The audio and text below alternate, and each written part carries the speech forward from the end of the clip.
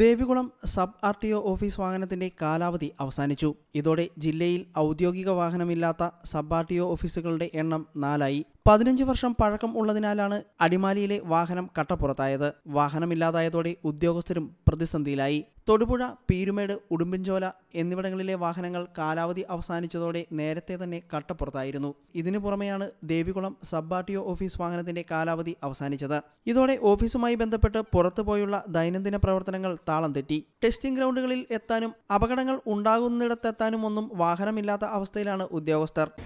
ഇടുക്കി ജില്ലയിലെ ഏകദേശം നാലോളം ജോയിന്റ് ആർ ടി ഓഫീസുകളിലെ വണ്ടികളുടെ കാലാവധി തീർന്നുകൊണ്ട് അതിന്റെ ഔദ്യോഗിക കാലാവധി തീർന്ന വണ്ടികൾ കണ്ടം ചെയ്യേണ്ട സ്ഥിതി എത്തിച്ചേർന്നിരിക്കുക ഇതിന് മുമ്പ് തന്നെ മൂന്നോളം ജോയിന്റ് ആർ ടി ഓഫീസിന് വേണ്ടി തീരുകയും ആർ ടി ഓഫീസിനുള്ള അടിമാലി ജോയിന്റ് ആർ ടി ഓഫീസിലെ വാഹനത്തിന്റെ ഡേറ്റ് ഇന്നോടുകൂടി തീരുകയാണ്.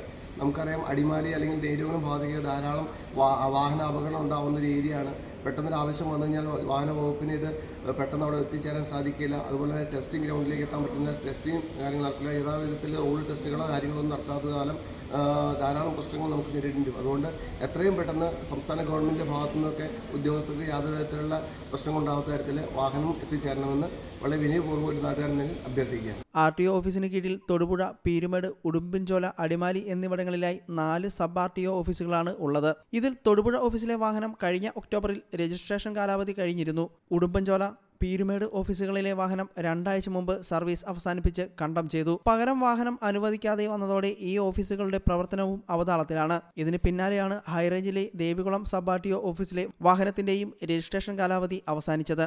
പകരം സംവിധാനം ഏർപ്പെടുത്താൻ ട്രാൻസ്പോർട്ട് കമ്മീഷണറേറ്റിൽ നിന്നും നടപടി ഉണ്ടാകാത്ത സാഹചര്യമാണ് പ്രതിസന്ധിക്ക് കാരണമായിരിക്കുന്നത്. നിലവിൽ മോട്ടോർ വാഹന വകുപ്പ് സ്ക്വാഡിന് മാത്രമാണ് ഇലക്ട്രിക് കാർ ഉള്ളത്. ഓഫീസ് ആവശ്യത്തിന് ഈ വാഹനം ഉപയോഗിക്കാനാവില്ല. News desk U